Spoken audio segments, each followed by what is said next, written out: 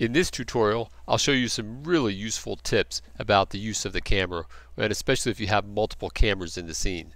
So in this particular scene, I have uh, three cameras. This one here labeled camera.001, that one's camera.002, and this is my original camera. I just pressed Shift D to make a copy of the camera, or you can bring it up from the menu with Shift A, and you can just add a camera to the scene like that.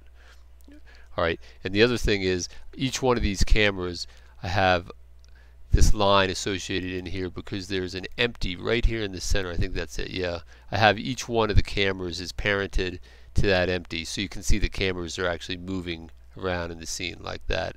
But now there's something to be you know to notice here. Now notice if I make this the active camera, if I select it, or at least if it, it seems like it's the active camera, right? But if you notice the view, I'm looking at the back side of this object. I just have this type of object so I can kind of orient myself in the scene like that.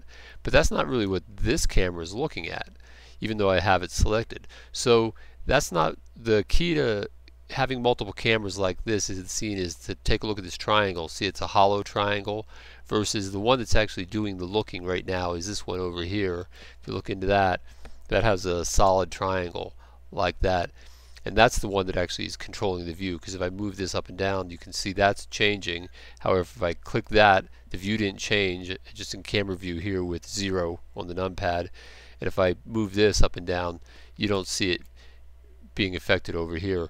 So the to make sure you're looking using the correct camera in the scene just make sure you're looking at that the camera that has the solid triangle. And to pick it you have to come over here into this right here this menu right here scene and then right down here is shows the three cameras in the scene like that alright? And this one shows it's a camera so I want to pick camera here and suddenly it's changed it to a solid triangle. Now that's the view that I see in there alright? Because that can certainly throw you. And then uh, there's several other things that are really important too is one in here within the camera if you come down here uh, well see with the camera selected not down in here but let's go over into the camera button right here like this for the object data. This kind of changes the icon. If you have a regular object, it becomes an upside down triangle like this. If I click this, see it's an upside down triangle. If I select a camera, right select it, it turns it into a camera icon. If it was a curve, it would look like a curve. So with the camera selected, if I come down here, I'll turn this off. That's off by default. And I'll turn limits on. And what limits does, it shows you your clipping plane. So right here, I have my clipping plane set between 0 and 99.12. And if I take a look at the scene from above by pressing 7 and then 5 on the keyboard, now I'm in ortho mode.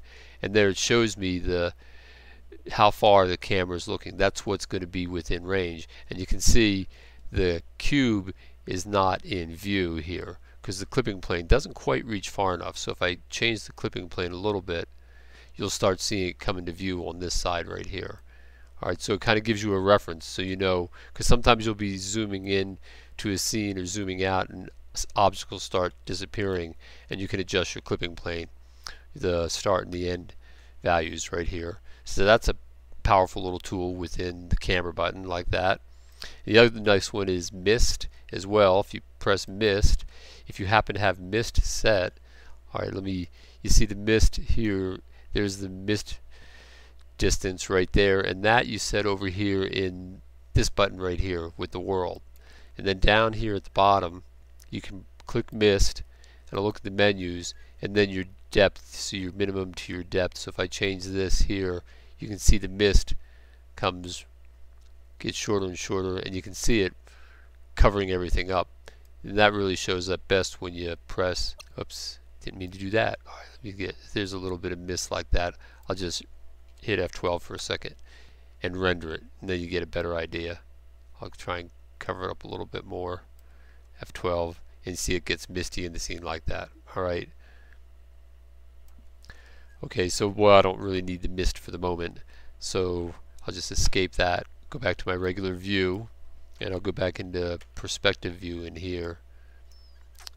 Like that and then I'll go turn the mist off for now. Alright, so those are really useful. And then a couple other really useful tips are that I'll go to my active camera, which is this one here, and there I'm looking at it in the scene like this. And you'll notice when you're, you're looking at it like this and you're changing the view and sometimes you want to kind of change the view but if you come over here and try and move this scene around while you're in camera mode. If I press the middle mouse button and move I kind of lose it. It goes back into just a regular viewing mode. I've lost the camera view so I'm going to press 0 on the numpad again and get my camera view back.